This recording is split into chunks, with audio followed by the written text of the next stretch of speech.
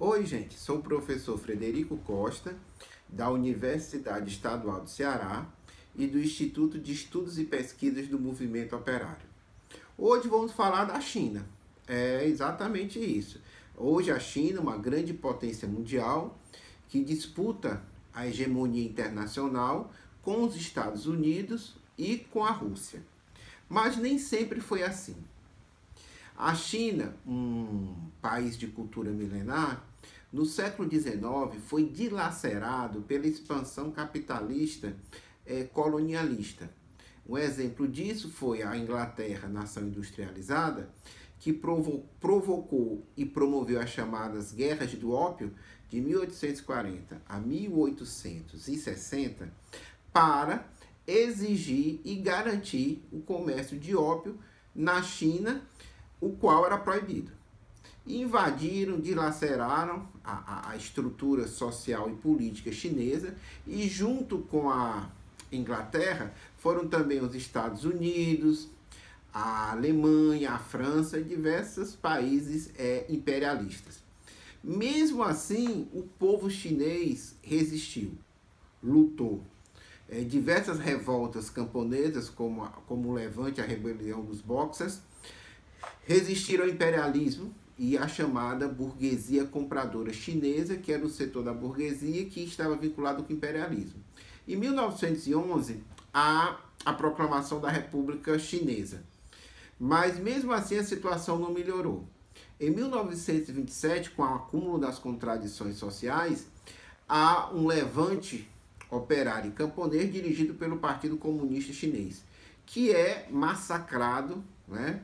É pelo chamado Partido Nacionalista, o Kuomintang.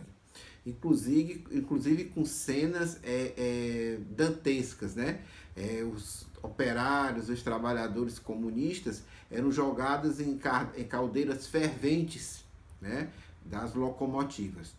Mesmo assim, o Partido Comunista Chinês sobreviveu foi para o campo e continuou a resistência. Em 1937, o imperialismo japonês invade e ocupa a China.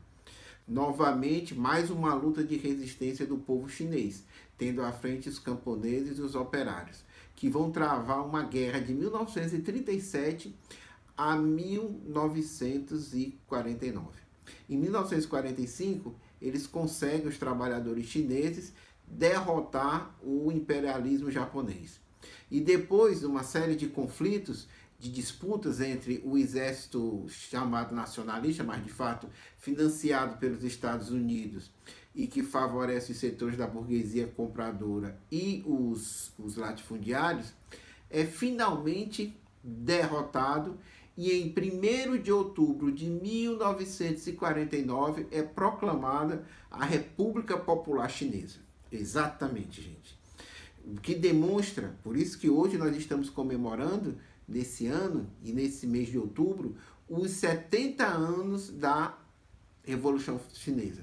É uma revolução cheia de contradições, cheia de impasses, é, que causou a evolução, inclusive para hoje, o que é a China. Mas o mais importante de tudo, para todos nós que estamos vinculados à luta dos trabalhadores, é que é possível vencer. Que os trabalhadores unidos, como os trabalhadores chineses, unidos, dos trabalhadores do campo e da cidade, conseguiram derrotar o latifúndio, conseguiram derrotar a burguesia compradora chinesa, conseguiram derrotar o imperialismo, o imperialismo inglês, o imperialismo japonês e por último o imperialismo norte-americano e construir algo novo, construir um mundo novo. Teve reforma agrária, teve aumento salarial, foi colocada a lei do divórcio, é, proibiu-se a poligamia, a opressão da mulher na China, generalizou-se a educação para a maioria esmagadora do povo e essas conquistas são inesquecíveis, apesar de todas as contradições que hoje é, a, o retorno né, ao, capitalismo tem trazido à China. Por isso nós comemoramos a, os 70 anos da Revolução Chinesa. E que essa experiência de revolução do povo chinês nos ilumine agora. Exatamente, agora na América Latina, que há um, o, o povo latino-americano, as massas latino-americanas começam a se mover. na Argentina, no Equador, em Honduras, no Paraguai, né? Em breve vamos acirrar mais a luta aqui no Brasil e vamos trazer conosco a bandeira experiência dos 70 anos da Revolução Chinesa.